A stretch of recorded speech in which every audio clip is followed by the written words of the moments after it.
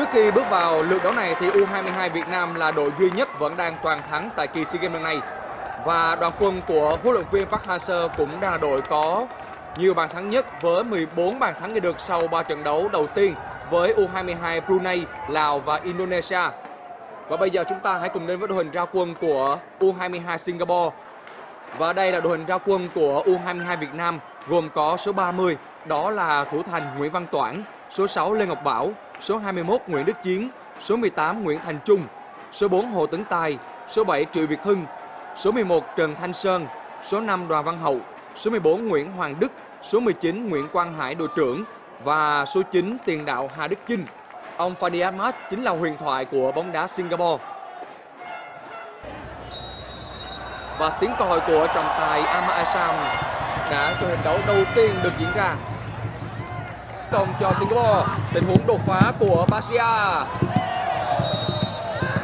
Như vậy là sẽ có một quả đá phạt dành cho U22 Singapore. Lần này thì Việt Hưng cũng đã có được bàn thắng vào lưới của U22 Brunei.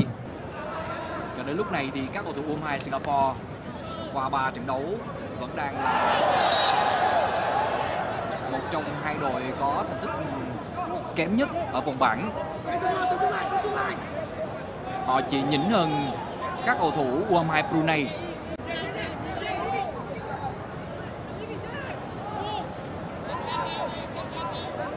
Trong trận đấu ra quân của mình gặp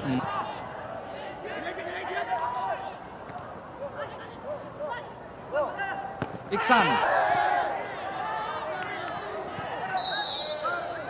Trọng tài người Kuwait, Askanani, đã thổi phạt các cầu thủ U22 Việt Nam và trọng tài người Kuwait cũng đã rút ra một chiếc thẻ vàng. Chiếc thẻ vàng đầu tiên trong trận đấu dành cho Đức Chiến.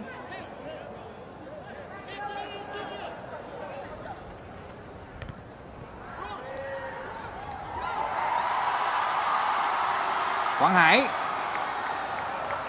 Tình huống có phần hơi bất lợi. Chắc chắn đây cũng là những hình ảnh rất đáng lo cho huấn luyện viên Park Hang-seo. Hy vọng rằng chấn thương đối với Quang Hải là không quá nặng.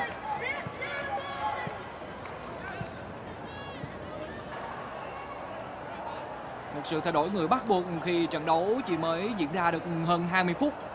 Đến từ huấn luyện viên Park Hang-seo.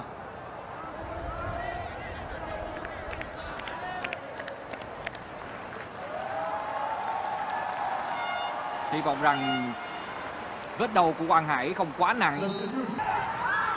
Trọng Hoàng. Cơ hội phản công cho cầu thủ Singapore. Và trọng tài đã thổi phạt Trọng Hoàng ở tình huống vừa qua.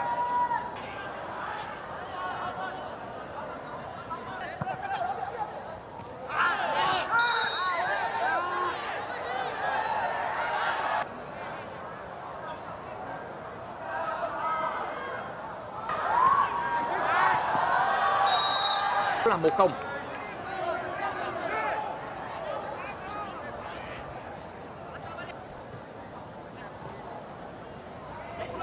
Faris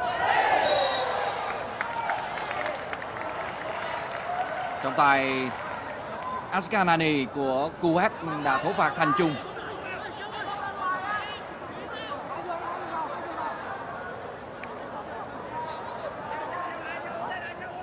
trong khuôn khổ lượt đấu thứ tư bảng B của SEA Games 30 và tiếng còi của trọng tài ông Eskanani đã vang lên. Tiến Linh sẽ vào sân. Tiến Linh sẽ vào thay cho Thanh Sơn. Indonesia và U22 Brunei đang có tỷ số là 4-0 nghiêng về cho các cầu thủ U22 Indonesia. Cơ hội cho Tiến Linh. Cơ hội can thiệp của hậu vệ bên phía hôm nay Singapore đó là Tajeli. Những khoảng trống ở hàng thủ của Mai Singapore đã bắt đầu lộ ra.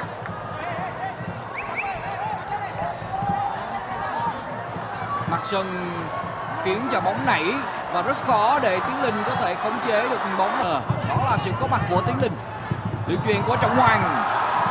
Tiến Linh không được. Đức Trình vừa rồi đã bàn vào rất nhanh nhưng không thể tạo ra điểm cắt trước khung thành của U22 Singapore.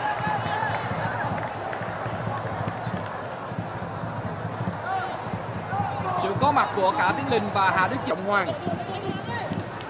Vẫn là Trọng Hoàng. Hùng Dũng. Tư Chuyên. Rồi qua đăng tiên cho pha dứt điểm của Đoàn Văn Hậu. Đó là một pha dứt điểm bằng chân trái sở trường chỉ tiếc là điểm tiếp xúc bóng của Văn Hậu là không tốt. Singapore là rất lớn. Việt Hưng. Hạ Đức Chinh. Một mình Hạ Đức Chinh trong vòng vây cơ hội. Không vào. Rất đáng tiếc cho Tiến Linh. Nỗ lực của Hà Đức Chinh trong vòng vây của ba đối phương, Nhưng Hà Đức Chinh vẫn truyền được vào trong. Chúng ta hãy cùng xem lại một pha tranh chấp rất dũng mãnh của Hà Đức Chinh. Cơ hội là rất rõ ràng. Chỉ tiếc là pha dứt điểm đã trúng vào đối phương.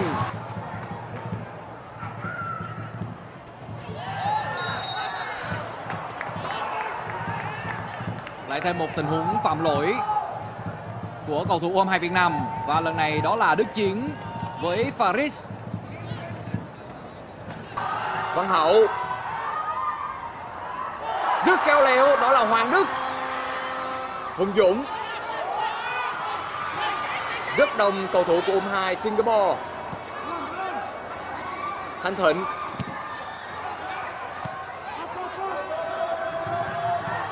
Văn Hậu. Rất nhịp nhàng Nhưng đường truyền ra của Hùng Dũng lại hơi mạnh. Indonesia đều là những trận đấu dễ dàng. Chúng ta cùng xem bóng đây được Chinh. Không thể tung ra cú dứt điểm cuối cùng. Đó có lẽ là tình huống can thiệp của đội trưởng Ivan. Tình huống phối hợp rất an ý giữa Đức Chinh và Tiến Linh.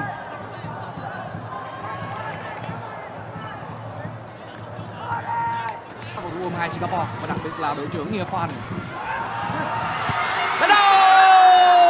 Cú vọt sang ngang của Tiến Linh. Tiến Linh đã có sẽ là người vào sân thay cho Basia. Tình huống đá phạt góc. Văn Hậu đưa chuyền. Đâu? Lần này là Hà Đức Chinh.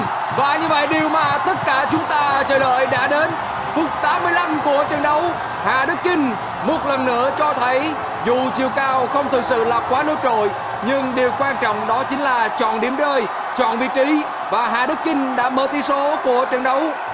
Người đã có đường truyền bằng đầu đó là Đoàn Văn Hậu. chúng ta cũng thấy là bàn thắng này có kịch bản rất giống với bàn thắng của đội tuyển Việt Nam vào lưới của đội tuyển Indonesia tại vòng loại World Cup 2022 vừa qua. Văn Hậu là người đã xuất hiện ở cột xa và đánh đầu trả bóng vào trong. Chỉ khác biệt ở chỗ người dứt điểm thành bàn, bây giờ là Hà Đức Chinh. Bây giờ thì tâm lý của hai Việt Nam sẽ rất thoải mái. Vẫn là Hoàng Đức. Triệu Việt Hưng và đã từ xa. Một cú vuốt bóng bằng chân trái từ xa của Triệu Việt Hưng. Mé một chút nữa thôi thì tỷ số đã là 2-0. Đúng là khi tâm lý thoải mái thì U22 Việt Nam đang chơi rất bùng nổ. Một tình huống dâng cao của Triệu Việt Hưng và cùng với đó là một cú vút bóng bằng chân trái đầy cảm giác. Thanh Thịnh. Vẫn là Hoàng Đức. Tiếp tục là những pha xử lý rất cơ bản quá đáng tiếc cho pha bằng vào của Hà Đức Chinh. Một đường truyền rất khó chịu của Hoàng Đức ở trong thời gian tới. Hoàng Đức. Những giây cuối cùng rồi. Vẫn là Hoàng Đức. Thanh Thịnh.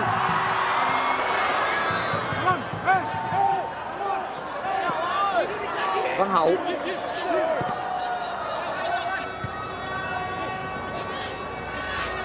Trọng Hoàng. Và đúng lúc này, Đúng lúc này tiếng còi của trọng tài ông Oscar Nani đã vang lên. Bàn thắng duy nhất của Hà Đức Chinh đã mang về trọn 3 điểm, Trọn 3 điểm cho ông hai Việt Nam.